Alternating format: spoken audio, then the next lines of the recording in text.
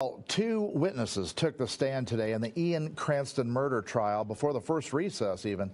Tyler Smith, a friend of Ian Cranston, shared his recollection of the events leading to the shooting death of Barry Washington Jr. on September 19th of last year. Smith said he got between Washington and Cranston, ready to fight, with adrenaline pumping after Cranston was hit in the head by Washington.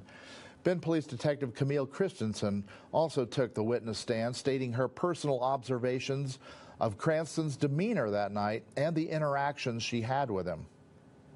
Was the defendant informed that Barry Washington had died? Yes. Okay. And what was his response when he received that information? Um, his response was he just kind of, kind of slumped down his shoulders and, um, uh, kind of head, you know, back and uh, appeared to be upset.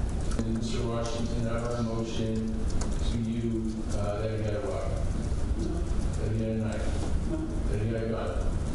Did he ever threaten to kill you? Mr. Swart asked you if you were in fear for your life um, from Mr. Washington. You said that.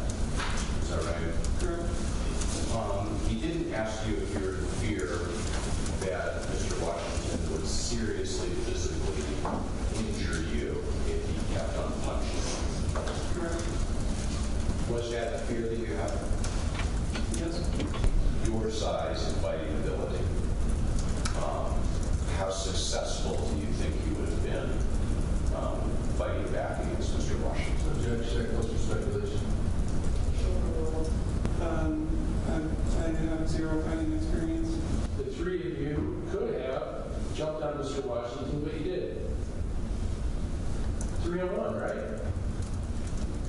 Fair say? That, that could have happened. That could have been one of the options. Right? Correct. Could have called the police instead. Correct.